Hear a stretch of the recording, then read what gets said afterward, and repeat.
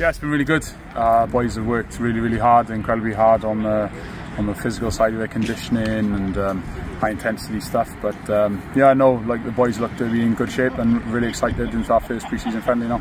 Yeah, I think it's brilliant. I think there's a lot of young players, young talent. We've talked about it for a number of years about the academies and pathways here in the Dragons, and uh, there's a lot of young youngsters who are chomping a bit to get their first opportunity to play uh, to get in the jersey. Uh, also, there's a couple of boys returning from 20s duty who had real good uh, summers and World Cup competition. So again, they get they get the first opportunity to get into that rep, uh, Dragons jersey and represent, and hopefully put in uh, some of the hard work that they've put in will come into fruition.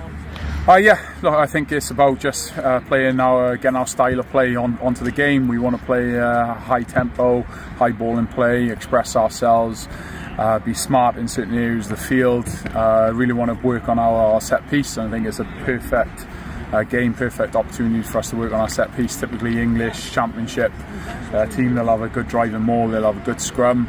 Uh, for the whole of pre-season actually when you think of Bath and, and, Bristol friendlies we're going to be tested up front and it's a perfect opportunity and perfect perfect three game preparation to go into our first URC game so uh, from a forwards point of view we're going to make sure our set piece and the stuff we've worked on in, in training is, is, spot on.